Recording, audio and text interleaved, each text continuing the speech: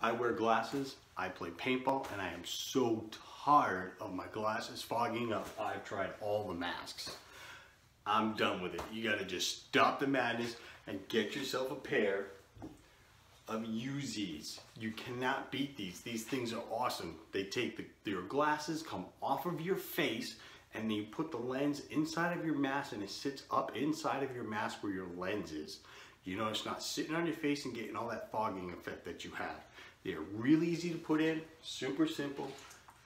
I got myself a pair of masks. I got a mask right here. Just simply push them in.